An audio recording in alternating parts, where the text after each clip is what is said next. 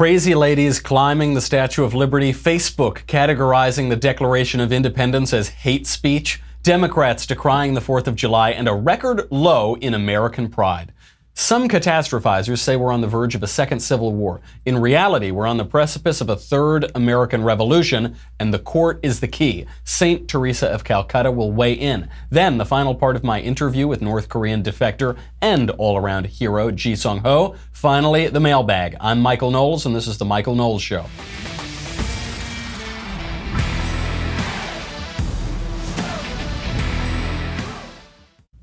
Oh, sorry. Excuse me just one second. I'm having a sip of my delicious Black Rifle coffee. Mmm. Tastes like freedom. Really complements leftist ears very well. Uh, black Rifle Coffee. These guys are so good. We got to welcome this new sponsor. So, you know me, I, I, defend all of those liberal, left leaning coffee chains that charge you a zillion dollars. You go into those places, though, and you really do wish that they took about 80% of all their expenditures, which they spend on like bias training and implicit, unconscious, implicit, implicity training, and, you know, all of the like the fourth gender bathroom. They have like, they have the two, and then they added a third, now they have a fourth gender bathroom. You wish they would stop investing all their money in that and just spend their money on making very good, delicious coffee, maybe support America a little bit. That's where Black Rifle Coffee comes in. These guys, first of all, most important thing, they make delicious coffee. They make excellent coffee. I've been a coffee snob since I was six years old and started drinking coffee. Might have stunted my growth, and uh, but I've I've always liked really good coffee. They make superb coffee. I drink it every single morning. It's really good. Uh, more than that, though, the company is great. Founded by uh, former special operations vets Black Rifle delivers the best roast to order coffee right to your door. Guarantees you're getting fresh premium coffee. You can get it whole bean, you can get it ground up, you can get it in Keurig for those Keurig machines. Uh, now, in addition to making great uh, coffee and great coffee gear, they also have this Coffee of the Month Club. So, you know, you just sign up. There's no lines, there's no running out. You just get great coffee shipped right to your door every single month, hassle free. It's the, the Black Rifle Coffee Club. When you join that coffee club, you'll get discounts, you'll get other offers not available to their other customers. It makes a superb cup of coffee. It feels very American, you know, Black Rifle, just, mm, just delish, you know. But uh, they also give a portion of their proceeds to veteran and first responder causes. So instead of your money going to like the the Planned Parenthood Federation of Namibia or wherever the, the other places donate to, these guys, you know, you're going to veterans and first responder causes. And you you cannot beat this cup of coffee. It is as good or better as any cup of coffee you're going to get. So go to blackriflecoffee.com slash covfefe. C-O-V-F-E-F-E. I know, it's confusing, isn't it? Coffee covfefe. Coffee covfefe. Coffee covfefe. blackriflecoffee.com slash covfefe. C-O-V-F-E-F-E. The way you can tell the difference, coffee you drink in your mouth, and covfefe, you know, the lines on the table, I'll leave it to your imagination. blackriflecoffee.com slash covfefe for 15% off your order. Don't say I never did nothing for you. blackriflecoffee.com slash Covfefe. What a great sponsor. What a great, and I get to drink their delicious coffee. It is so good. Obviously, because Ben hasn't paid me ever, you know, other than when I won that bet at the election last year, two years ago. Uh, but the coffee is so good. I drink it every day. Really, really good. So, how was your 4th of July? Was it good? I had a very good 4th of July. Obviously, I was playing It's a Grand Old Flag marching around my apartment with sweet little Elisa. And then, you know, saw some fireworks. I don't know, hung out with some pals. Ate some Omaha steak burgers. That was delicious went over, you know, had a couple drinks, saw some fireworks. I suspect you had a similar 4th of July. How did the left spend the 4th of July? Did, we actually have video.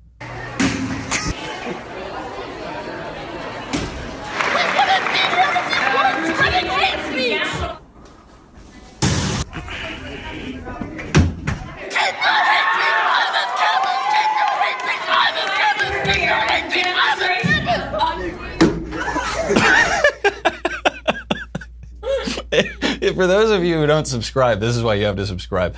Uh, there was a video of a high school kid uh, running into doorways and banging his head against the wall. Plus, obviously, that, that wonderful girl dubbed by the internet as Triggly Puff screaming. that is how the left spent their 4th of July. I mean, it was really, really insane. They lost their minds. Crazy ladies climbing up the Statue of Liberty, even the Democrat Party issuing this crazy uh, announcement. All of this does have you realize at least half the country is unhinged. They are really starting to lose it. And you hear all this talk about is there going to be a civil war? Is there going to be a civil war? I don't think so, but I do think we're on the verge of the third American Revolution. We'll get into that a little bit more uh, later on. The let's start with the crazy lady who climbed the Statue of Liberty.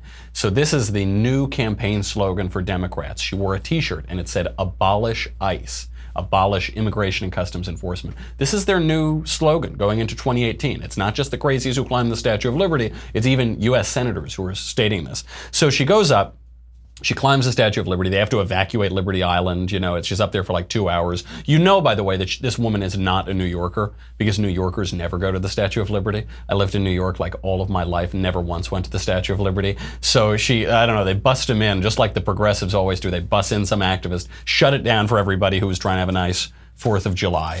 Uh, and and climb, wait, waits two hours all day screaming about how uh, we're separating families at the border, or you know that old Obama, that old Clinton policy of, you know, you have to detain the criminals and you can't throw children in jail. So she's screaming a whole hullabaloo about this. Uh, then, meanwhile, in San Antonio, a grown man uh, went up to a kid who was just wearing his MAGA hat, his Make America Great Again hat. He so objected to that phrase, Make America Great Again. He goes up, rips the hat off the kid. It actually like pulled off some hair with it too, starts screaming in his face, steals his hat. I think we have a video of that. Here is this crazy guy in San Antonio. Right now, police are looking for that man who was caught on tape, on camera, throwing a drink at a teenager in that video, the man in the red hat, and walks off with the teenager's hat, pulled it off so aggressively, he also pulled out some hair with it. I didn't think it was going to generate that amount, like the amount of like what people were doing. Like I was looking at the comments and some people were like, "Oh yeah, like this is uncalled for," and then people were like, you know, just mixed opinions. But I didn't think it would blow up to what it is right now. By the way, listen, this kid is great. He's wearing an American flag bandana, you know, he's got braces. He's in high school, I assume. And he says, Well, when I, when I posted that video to try to find the guy who threw a drink in my face, ripped off, stole my hat, all this, when I posted it, uh, you know, a lot of people were supportive. And then there were some mixed reactions. Mixed reactions are those lefties who are like, yeah, that's good. He should have ripped your head off. You know, it's all that craziness and all that calls for violence coming out of the left. The left has been calling for violence now pretty explicitly for several weeks. And look at the juxtaposition. You got this kid smiling, braces, American flag bandana, you know, just an all around high school kid. And then this crazy adult leftist, this probably unshowered, you know, hairy leftist throwing drinks in his face, ripping it off his head, stealing his property. That those are the two sides that you get to look at right now. It's the right with the American flag bandana and the left ripping off property, screaming, vandalizing property, climbing up the Statue of Liberty like a crazy person. Now, you would think in the midst of all this, Democrats would be freaking out. They'd say, oh gosh, we, we're in an election year. We need to offer an aspirational statement.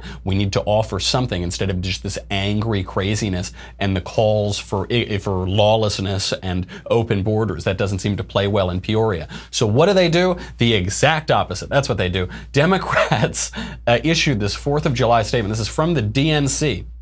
They said, quote, nearly two and a half centuries ago, a band of patriots gathered in Philadelphia to declare that all men are created equal. Our nation has changed dramatically since those words were first written on parchment. Generations of brave Americans have fought to expand the promise of equality for more Americans, move our country forward in its march toward a more perfect union. As we celebrate our nation's independence, we recognize America's founding promise remains out of reach for too many families.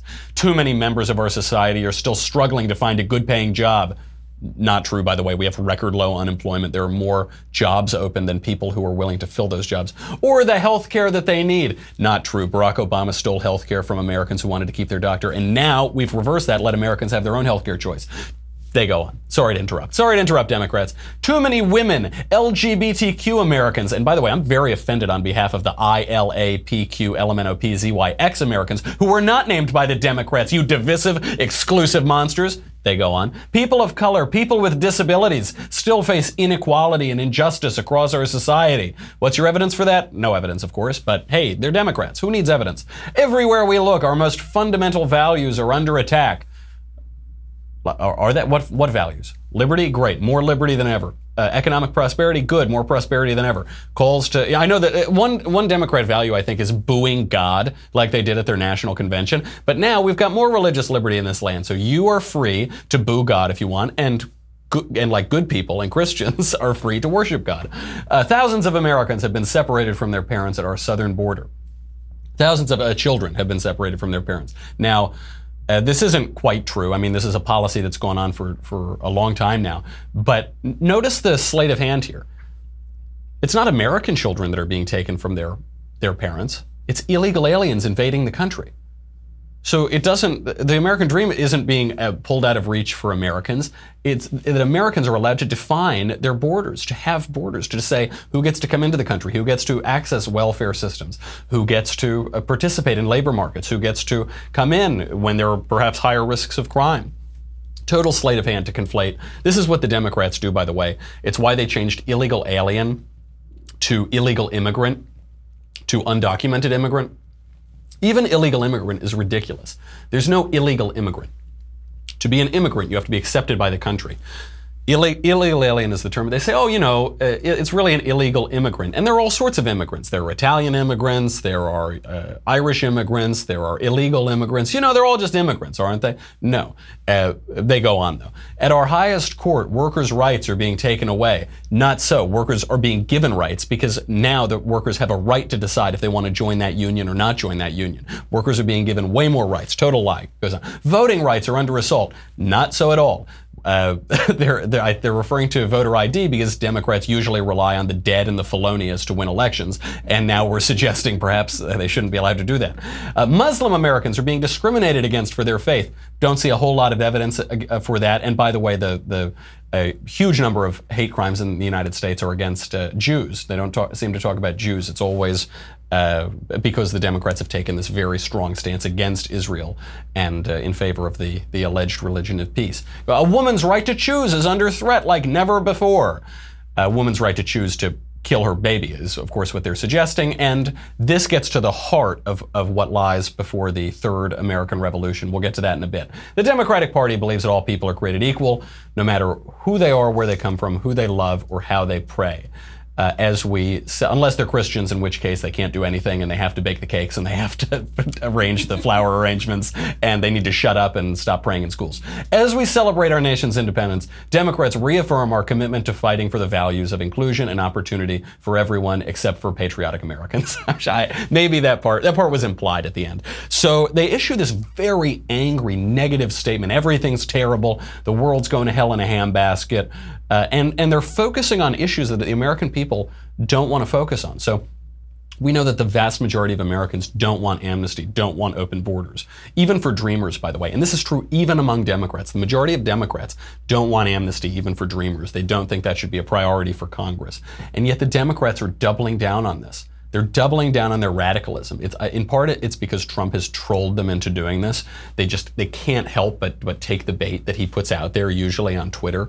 But it's a, a really weird and losing strategy. On the one day that we're supposed to all be united, the Fourth of July, American independence, go out and shoot some fireworks and stop complaining. What do they do? They complain. Why do they complain on the Fourth of July? Because they don't like America. They don't like it. They're showing their hand.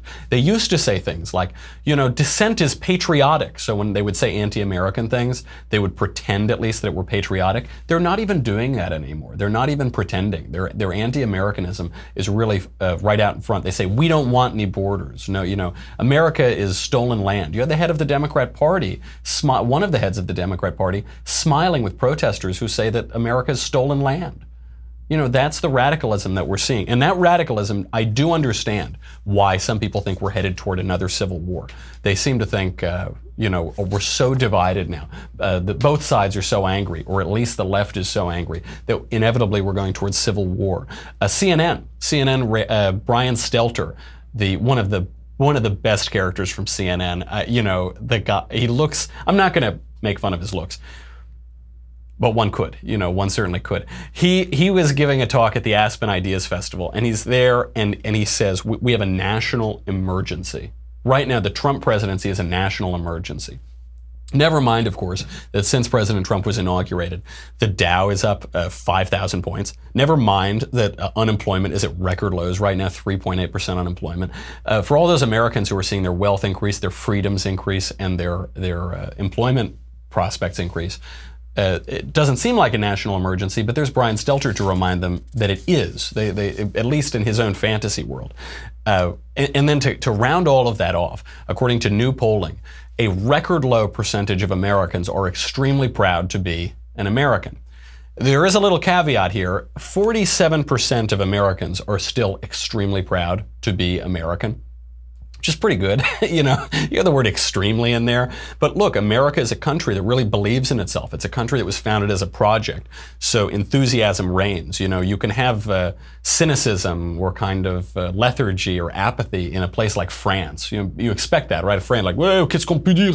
Qu'est-ce qu'on peut faire? Rien, rien. Right? But not in America. In America, you have this enthusiasm. You say, yeah, damn right, America F yeah, you know, like the song. I mean, it's really put a shove a boot in different places and, you know, proud to be an American. It's a very enthusiastic place.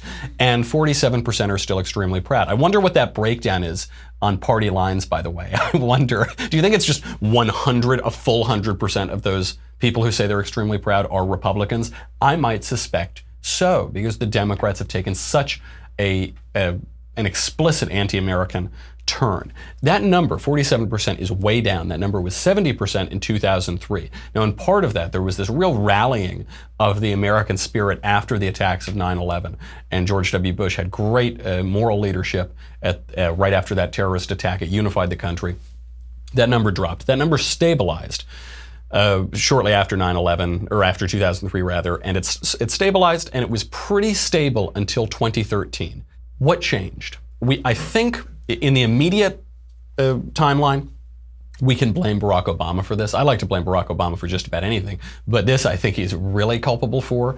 It's that second Obama term was just so awful. You know, usually presidents in their second term moderate a little bit. They try to unify the country. They try to have a nice legacy that can buoy them among all segments of the American people.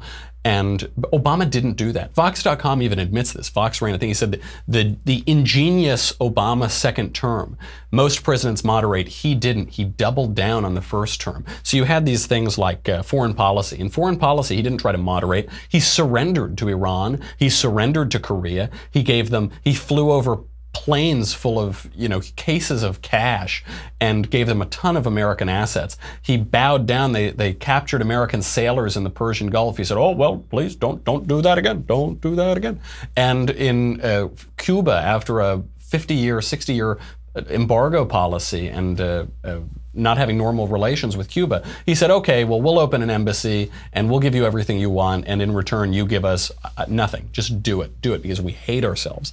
And, and then, of course, in 2015, after the Obergefell decision that uh, redefined marriage to include same-sex monogamous unions, but not same-sex polygamous unions for some reason, because Anthony Kennedy thinks very highly of himself and believes he's a romantic poet. After that decision, what did Barack Obama do? Did he try to unite the country? No. He painted the White House in rainbow lights. He, it was a huge middle finger to half of the country, to people who didn't want the central institution of society to be radically redefined by a court based on nothing, based on Anthony Kennedy's romantic poetry and the alleged right to intimacy that Kennedy found. And Scalia said, clearly there's a, there isn't a right to intimacy, and even if there were, marriage would not expand that. Ask the nearest hippie. Uh, the, you know, he, he just rubbed most of America's face in this. It was such a radicalism. And the real problem with that, by the way, isn't even the question of uh, what one thinks about gay unions or what to call gay unions or how they should be interpreted by law. The real problem was flouting the rule of law of saying there's no it doesn't matter what the rule of law is. Yeah we're going to they're going to look at us with a straight face the democrats and say yeah i think all the founding fathers and the framers of the constitution they thought the constitution protected monogamous gay unions and defined marriage that way. That's what they thought. You say you don't you couldn't possibly think that. No but no yeah that's what they thought Tell me I'm wrong. And uh, that flouting the rule of law is the real issue. It's, it's, think of like the psychology of lines. When you're standing on line at a store and you're waiting to check out or something, and when people are online, there have been a lot of studies about this. They don't really mind if the line is long, they don't really mind if the line is not moving, so long as the line is fair. The minute someone cuts in line, people lose their mind because they've broken the rules and now there is chaos. people are, you, you think, I can't rely on these rules anymore, so what's going to happen? People get very agitated, people get very anxious, and people uh, get very tense. The, the, the situation becomes very tense. That's what's happening by flouting the rule of law. This is why when the Democrats say abolish ICE, what they're saying is abolish law enforcement. They've been talking about this for, with cops forever, you know, abolish police departments, right? Uh, they want to abolish the rule of law, and it makes everybody very anxious because when you don't have a rule of law, you have the rule of men, and men can do whatever they want. And if the guy that doesn't like you is in charge, then things probably aren't going to work out very well for you unless he's bound by the rule of law. This goes back to the Third American Revolution not the Civil War. We're very lazy for a Civil War, and there there aren't uh, equally strong sides here. But there have been three American Revol- there have been two American revolutions so far. The first was the one in 1776 that began uh, yesterday, over two centuries ago. Then the second one was the Civil War. This was another American Revolution. Uh, this was a, this was finishing the work of the American Revolution. That first revolution was based on natural rights. It was based on uh, the right to life, liberty, and the pursuit of happiness. The second American Revolution was based on just that. Uh, the founding fathers, John Adams, predicted that there would be another American Revolution, that they would have to fight another great war over the question of slavery because the premise of the United States was not borne out with the institution of slavery in place. The founding fathers suspected this. The framers knew that this would happen. Eventually, it happened. That same issue is playing out on the question of abortion. And the question of abortion is, is twofold. There's the quest, there, there's Roe v. Wade. There's the question of actually the, the right to an abortion and actually killing babies.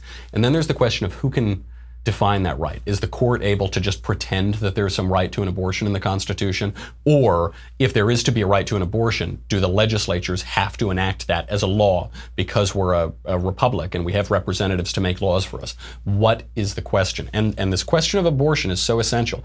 Uh, the Democrats are all losing their mind on this court seat and over Merrick Garland and over Neil Gorsuch because Roe v. Wade is a ridiculous decision that obviously was wrongly decided. Everybody knows this. The left knows this. They're basically admitting it now. And they know that if, if an originalist or a constitutionalist or a textualist or whatever you want to call it is nominated to the court, Roe v. Wade might be imperiled. And that's the question. They're saying this is all about this one decision. But the, the, decision isn't just awful for itself, it's awful also for what it says about American law and that anxiety that it brought to American law. Uh, here is Mother Teresa, Saint Teresa of Calcutta, explaining the, the merits of, of it itself, the, the question of abortion itself. Then we'll get to it in the American system. Here's Saint Teresa. But I feel that the greatest destroyer of peace today is abortion. Because Jesus said, if you receive a little child, you receive me. So every abortion is the denial of receiving Jesus, is the neglect of receiving Jesus. It is really a war against the child, a direct killing of the innocent child, murder by the mother herself. And if we accept that the mother can kill even her own child, how can we tell other people not to kill one another? By abortion, the mother does not learn to love, but kills even her own child to solve her problems. And by abortion, the father is told that he does not have to take any responsibility at all for the child. He has brought into the world that so that father is likely to put other women into the same trouble.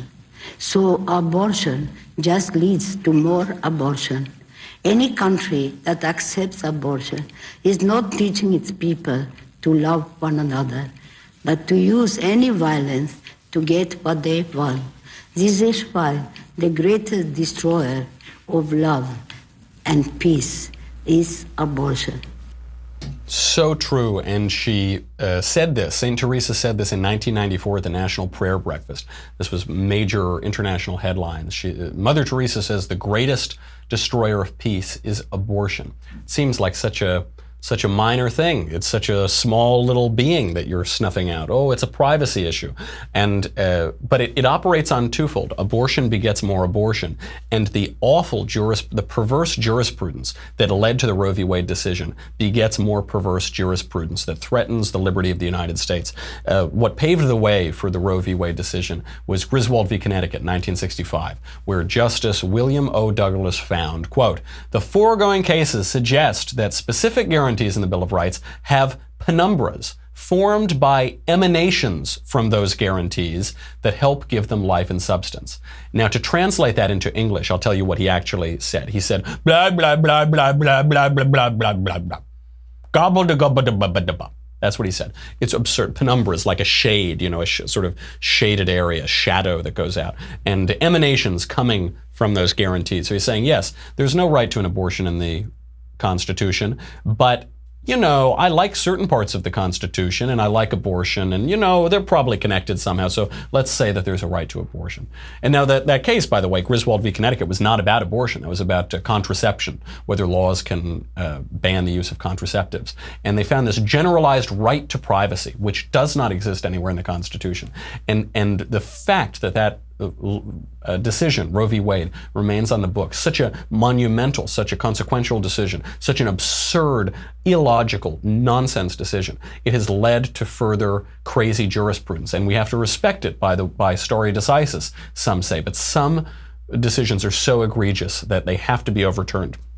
It, the abortion begets more abortion, and perversity and perverse jurisprudence begets more perverse jurisprudence. You know, by 2015, support for the Supreme Court hit an all-time low in the United States. Trust in the Supreme Court as an institution. Why did it hit an all-time low? Because with those sorts of decisions, it became clear that the Supreme Court was not interpreting the law. The Supreme Court was writing law and writing consequential law and, and pretty horrific law. Revolutions happen because of natural rights in the United States. That's what they're about. Uh, John, Thomas Jefferson said frequently, uh, he said, uh, from time to time, the tree of liberty must be refreshed with the blood of patriots and tyrants. It's a pretty graphic image, pretty vivid image. And that certainly was the case in the first American Revolution. It was certainly the case in the second American Revolution. We can hope that in this third American Revolution, that I hope we embark upon, that there will not be more blood spilled, but that the blood that has been spilled since the Roe v. Wade decision will cease to be spilled. That that will act as enough spilled blood for, for that revolution because we're, we're on the cusp of it.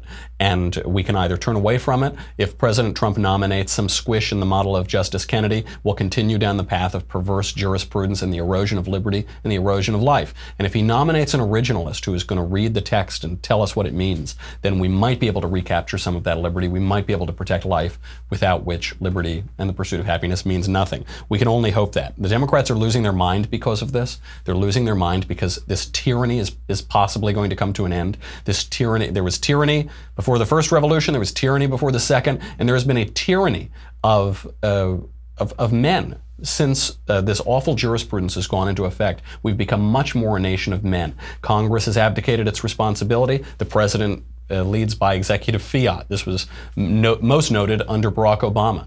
The Congress has abdicated its responsibility. The court rules by fiat. The court has abandoned its loyalty to the Constitution, so it would rule as, as the rule of men. There's a tyranny that's coming to an end. It's brought around a lot of leftist policy prerogatives that might be coming to an end. They're losing their minds. It might look pretty bad now, but it looked pretty bad in the early days of the American Revolution and the Civil War, too. It looked pretty bad.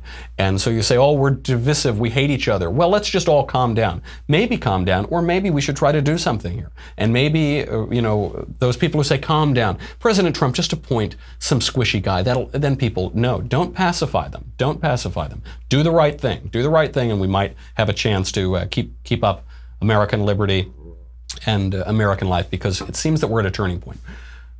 I ran a little bit late. Now I've got to bring you, speaking of life and liberty, the uh, final part of my interview with Ji Seong-Ho, the uh, defector, and uh, the, the director of the film that is now, the documentary film that is covering uh, Ji Seong-Ho's life and journey. Without further ado, Ji Seong-Ho. Hawk, thank you for coming on. Hawk Jensen, uh, you've been a filmmaker for 19 years, journalist, writer, producer. You've, you've been around Hollywood, you've Yeah, been around the journeyman, industry, yeah. journeyman. What led you to this story, other than that it's the most inspiring story in certainly in my lifetime? Uh, what what led you to it? How did you get involved? And tell us a little bit about the project. Sure. Well, um, I mean, this specific episode we've been filming this short form documentary for Witness Project. We've been shooting with Ji Seong-Ho. Is uh, epi- the next round of episodes we're doing for the series called Witness Project, which is an original series put out by Victims of Communism Memorial Foundation. I'm, I'm familiar with them. Okay, Victims great. of Communism Memorial Yeah, Foundation. yeah. And You, you always hear about victims of Nazism or Yeah, victims of sure. this, but uh, for some reason, victims of communism, even though we can see these uh, uh, unbelievable stories of hell on earth to uh, to get getting out and getting to freedom, for some reason that doesn't get a lot of play in the media. Yeah, well, I- and I got the call. So, I mean, I, I started a documentary film company about six years ago because I was uh, working mainstream here, and I was just kind of tired of the vacuous aspect of the storytelling and sort of the one-sided aspect of the storytelling. I just had a, I've always had an independent uh, opinion on matters, and uh, and By the I- way, for those watching, that means conservative. you know, when you say independent in Hollywood, they're like, you know, well, yeah, it's, or it's just like the difference of opinion. I mean, there's a, there Yes, is there is a a main way of thinking on in the, the LA film industry, and if you think differently, conservative or otherwise, you are otherized, and it is it is something that you have to overcome as a filmmaker and as an artist, as as someone who's expressing themselves. And um, so I, I got a phone call a number uh, years ago uh, saying like, hey, we've got these stories. Uh, they're they're they're building effectively a museum, uh, kind of a Holocaust style museum for the victims of communism. And you know, the Cold War ended, and there was this whole propensity to just leave those stories like, who wants to remember the past? Who wants to think about this? And then, and it, and enough time's gone by, you know, 20, 30 years, where I started seeing that the, those oral stories were starting to die out, weren't being captured, weren't being um, brought to the sort of historically significant le- level of of, of uh, being known to sort of the cultural literacy. And it just really struck me that it was an important, uh, underserved uh, part of storytelling. And uh, so I took on the project, Witness Project, and it was really looking at the first person primary source people who experience these things. I mean, uh, there, there, there's more than one type of evil in the world. And these stories are important to capture, and you have to go to the source.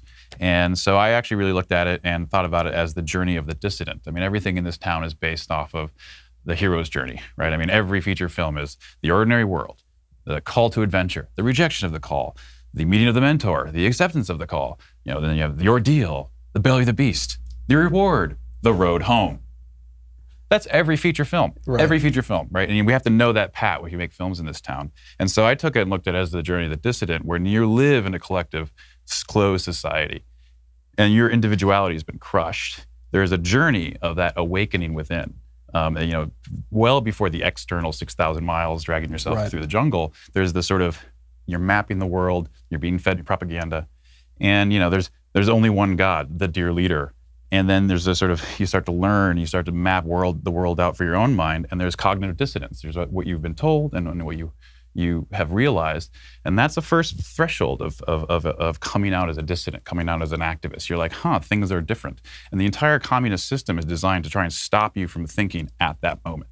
And so I thought, well, how do we show that threshold? How do we show that internal awakening that happens before the first steps taken when you cross the border to, like in, in Ji Ho's case, cross the border to China and start that step-by-step process.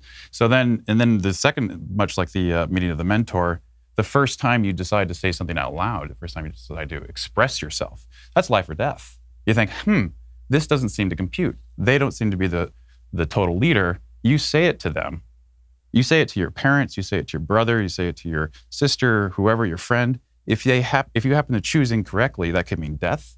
That could mean re-education. That could be loss of reputation. Could be loss of uh, ability to support yourself. I mean, it's a very profound uh, journey that happens internally. So I, I look at the internal and the external as sort of a two-part aspect of my storytelling. Of course, yeah. I think Seong-Ho was was talking about that too. The the the spiritual aspect, you know, this kind of internal aspect, and then obviously the external uh, horrors. Uh, when when can we see this? Uh, you know, obviously uh, we've gotten uh, to hear a little bit about this story. When can we uh, see this, and and how are we going to make sure that the American people can see this uh, this historically important uh, matter that uh, for so long hasn't really been talked about? Yeah, well, we just wrapped a, a great uh, series of production days filming this, and we're going to be working on post production for a number of months, and we'll figure. And so probably in the next six months, we'll, we'll come out with this episode, maybe less, and uh, and we're working on distribution for it right now in terms of a worldwide distribution. Um, but right now, it's currently available. Uh, Victims of Communism has a has a website. Um, you know, slash witness uh, Smock Media. We have we also have portals to the same aspect, and we're just sort of building building our uh, cultural base and understanding of that world, of closed societies, of communist collectivist societies, and the oppression. So it's a great space to kind of start learning how how oppression works on the left side of the spectrum. Well, Hawk, it, it is so wonderful that you are using the tools of Hollywood to convey it, it, important stories that aren't being told to, and to, to bring about a lot of good by uncovering a lot of evil. I mean, it is so wonderful. I've been out here for a little while, and that isn't what Hollywood does. That just Hollywood just never does that. So it, that's really wonderful. I, I, can't wait to see it. Thanks. And Seong-Ho, uh, you are doing God's work, man. It is a, a singular privilege of my life to get to meet you. Thank you. Thanks so much. Thank you both.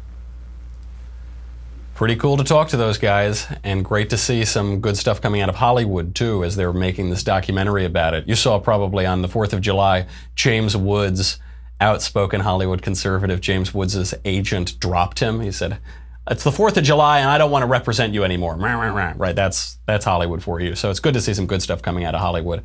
And you know, I guess it's kind of it's too bad for the movie industry because James Woods is such a good actor. But at least now he'll have more time to be on Twitter, and he's a very good tweeter too. So that'll be enjoyable. Breaking news now: uh, the EPA chief Scott Pruitt has resigned. President Trump has accepted his resignation. Democrats have been gunning for this guy forever because he was a strong deregulator. He was really undoing a lot of the insane and tyrannical Obama administration agenda of using the EPA in particular, but the executive agencies to pa- to basically regulate all of Americans' lives, to in effect pass laws that run Americans' lives.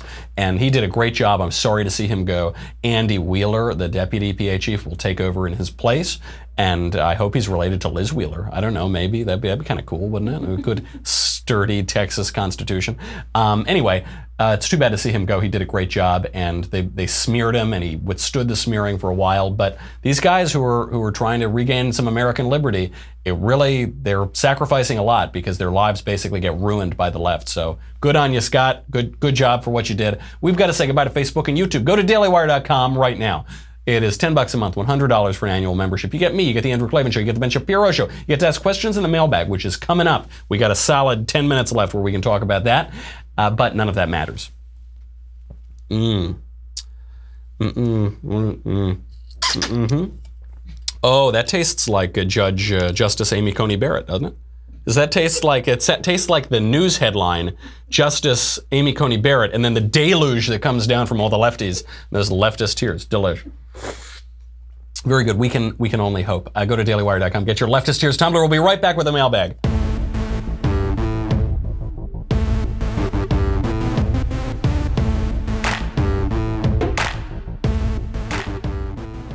I'm running late, so let's get right into it with the mailbag from Alex.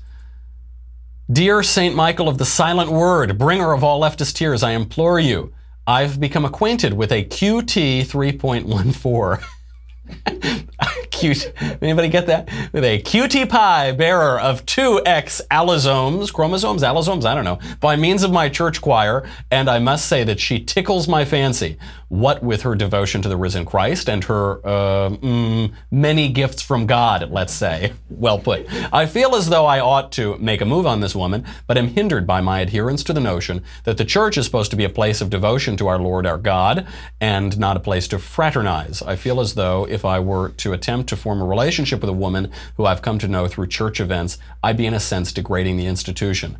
But then again, if not through Catholic related events, how on God's green earth am I supposed to find and marry a Catholic woman?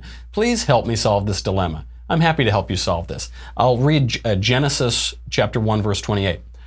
And God blessed them and God said to them, Be fruitful and multiply, and fill the earth and subdue it, and have dominion over the fish of the sea, and over the birds of the heavens, and over every living thing that man moves on the earth. You know, it's not good for man to be alone. Man needs a mate. And that's why God gave Adam a mate and seems to have maybe given you one. Now, here's the important thing.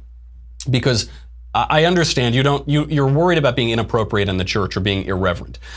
Uh, some things are inappropriate in the church. Acoustic guitars, that song about the eagle's wings, uh, applause, and uh, those things are inappropriate in a church. Uh, marrying a woman and just populating it with lots of little Catholic babies, very appropriate to begin that in a church. So now I will get there is one caveat here, which is if you're in this choir with her, and you really obviously you don't want to be like too distracted during the during the mass, buddy. You know, try to keep your eyes on the prize. But afterward, or at the little coffee afterward, or what, whatever you're going to do, it's good to think about other things and you know how to uh, how to follow God's commands on this earth. Uh, because you're in this choir with her and it's, you know, you're focused on God, you just got to be kind of cool about it. Like, don't be weird about it. You know, you don't want, you want to go up and ask her out and be confident and maybe that'll go well. And if she, is really not interested, then you you know, unfortunately, you got to let it go. But there is there is nothing in I've I've read uh, the Catechism of the Catholic Church, I've read the Bible, I've read some some of the church fathers. There is nothing that says that you cannot pick up a cute lady and populate God's green earth. Quite the opposite, pal. Go forward in Genesis 128. Let me know how it goes. From Cameron to the Daily Wire's homegrown Gavone. A week ago, you made a distinction between a conservative and a constitutional Supreme Court justice. And while I agree with you in principle, I'm having some trouble getting my mind around the example you used. You said that a conservative justice would ban abortion outright, but a constitutional or textualist or originalist justice would simply overturn Roe v. Wade and kick the lawmaking to the states. I'm not a constitutional scholar, but it seems to me that if you accept the premise that abortion is the killing of unborn children, as I think I've heard you say on the show, then states don't have the right to allow it. Again, I'm no expert, but it seems crazy to me that the Constitution leaves space for the states to legalize the killing of any subject of its population. Uh, arguments about the death penalty set aside for the sake of the question. What am I missing here? Thanks, Cameron. You're missing federalism. Most murders are state crimes, they're not federal crimes. That's why we have a federal system in the Constitution. So not everything hateful and odious is covered by some provision of the Constitution. Now, find me a state that doesn't consider murder a crime. Good luck, you probably won't. But uh, that's not a matter for the federal government to decide. That's regulated by the states, with some exceptions. There are some murders that are that are federal crimes, but when when they're not, you leave it to the states. And if you believe in federalism, then you'll suspect that uh, most states will come to the come to see the light and come to a, a reasonable conclusion. But that, that's why. Not everything, as Scalia once told me, at former, the late great Justice Scalia, not everything hateful and odious is covered by some provision of the Constitution. And you got to be okay with that because that's, uh, that's the central liberty premise in, in the Constitution. And, uh, and if you don't like that, then you really just become the flip side of, of the lefty people who want to twist the Constitution. Now, that's probably better. I'd rather have a conservative twist the con- Constitution than a lefty twist the Constitution. But what I really want is for the document to speak for itself and for the, the document to be interpreted uh, with the original meaning that it had, the original public meaning at the time that it was ratified. From Haley. Have a little bit more time. Who do you think should be chosen for Supreme Court, for the Supreme Court? Amy Coney Barrett. That's who. I think she's terrific. I think uh, there are a lot of good options out there, and it looks like the short list is down to three. Some the other people seem okay. She seems to be the most rock ribbed. She seems to be the most sure thing on a personal level, uh, and you know, op- optics do matter. Uh, the the personality does matter because you know we they will be going through a confirmation process. This will play out on a political stage. She's just it, appears unimpeachable and terrific. She, she raised seven children while becoming a federal judge. She uh, takes her religion seriously.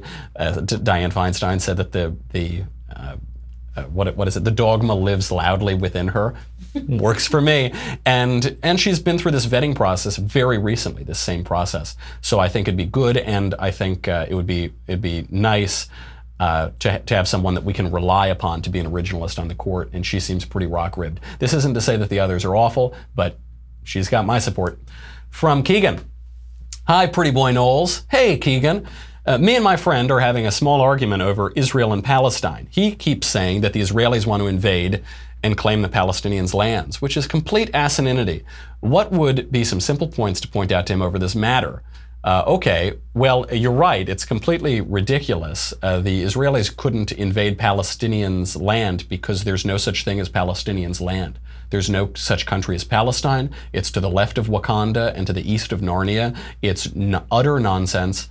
Uh, the, the great leader of Palestine, Yasser Arafat, was born in Egypt. He's an Egyptian. There's no such thing. It's a contrived crisis created by Arabs who oppose the existence of Israel. It's really sad that other Arab nations have allowed some people uh, who now call themselves the Palestinian people to live in squalor and to uh, as a as a cudgel to try to attack the state of Israel. The Islamic religion has no claim on Jerusalem whatsoever, and uh, the the uh, Palestinian dilemma will only be uh, resolved when the Arab states around it want peace, and the Arab states around it appear not to want peace. It's utterly contrived, and uh, and uh, we shouldn't we shouldn't uh, mistake the crocodile tears of Islamic tyrannical nations around them as anything but uh, but what they are, which is uncompassionate and uh, and a, a cudgel against a legitimate, flourishing democratic state in the region. From Ryan. Hi, Michael. In the Catholic faith, it is of the utmost importance to be open to having children when getting married. Would Catholicism be more in favor of a homosexual couple getting married with plans to have children, or a heterosexual couple getting married with no plans to have children? Most of that question is nonsense by the light of the Catholic Church, and this is because the, the debate over whether to have gay marriage or not is not whether gay people should have the right to get married, but what, what marriage means. And the definition of marriage that has existed for all of human history is that sexual difference inheres in marriage. And so if you don't have sexual difference, then you don't have marriage. You have something else, but it isn't marriage. So the, to the first part, that couldn't happen. For the heterosexual couple, the sexually different couple uh, who are getting married and have no plans to have children, you have to be open to children for that to be a sacrament. If you're not open to children, uh, then it isn't. Then you aren't getting married in the light of the Catholic Church. And this is this. They are very hard line about this. I mean, this is a, a hard line rule. If somebody uh, has uh, is incapable of having children, not that you know perhaps it won't work out or they're it seems that they're barren or something like that. But if it is like they're missing half of their body, they're only a torso up to a head, you can't get married. That's not a that isn't a legitimate marriage in the eyes of the Catholic Church. You have to be open to it. Now, what does that mean? Some people say, "Oh, I don't know that I want to have kids," and then like five seconds later, they start their brood. I've got some friends who are like that. So I don't think I want to have kids uh, until now, and now I'm gonna have like ten of them. So that uh, you know things can change like that, but you must be open to the possibility of life. And if you're not, then it's not marriage. Now, if you're, let's say, two people get married uh, and one is post-menopause and I don't know, one it isn't, it isn't looking, some doctor said you're probably not going to have kids. That doesn't uh, take out the logical possibility of life. That doesn't, you know, uh, that, that is still, that could still be a legitimate marriage. But uh, when it's not logically possible, it's not a marriage. Can I take one more? Do I have time for one more? One more, you say. Okay, I'll do it. From Sean. Is it true that the only thing that flat earthers have to fear is the sphere itself? Great question. This is why you tune into this show for real important bits of insight like that. Uh, that might that might well be true. I do want to mention something about the flat earthers though, because this irks me all the time. You always hear lefties compare conservatives to flat earthers. They say, "Oh, you know, in the old times, the people thought the earth was flat." And what's great is that the real flat earthers, meaning people who denied basic realities of the world, the real flat earthers are the people who promote the flat earther myth. In, in the old timey days, nobody thought the earth was flat. People have known that the earth is spherical since the 6th century before Christ. And Aristotle, th- that, that was Pythagoras who suggested that. Aristotle has provided evidence that the earth is spherical since the 4th century before Christ. The, there's this myth that people in the old timey days, like in the Middle Ages, thought the earth was flat. This was put forward by John William Draper, who's a scientist, uh, Andrew Dickson White, who is an educator, and Washington Irving, whom I love, good essayist and biographer, but dead wrong about this. It's just a, it's one of these tools that the lefties use to try to make it seem like we moderns, you know, we moderns have iPhones. So clearly we're much smarter and more educated than those crazy Middle Ages people. Not true. The, the people in the, the, Middle Ages, medieval philosophers, were much, much smarter than you and I. Thomas Aquinas is much smarter than you and I. And it's just a total lie. So I love, whenever they say that, say, you know, you are using that phrase to call people from the past idiots, and you are using it to demonstrate that you yourself are an idiot. On that note, we have so many more questions. We're not going to get to them. Have a good weekend. I hope you enjoy the 4th of July. It's like nice abbreviated week. I'm going to get back to my solid 72 hours of, uh, of loafing around and not doing anything. And then I'll see you on Monday. I hope you uh, have, have a good weekend. In the meantime, I'm Michael Knowles. This is The Michael Knowles Show.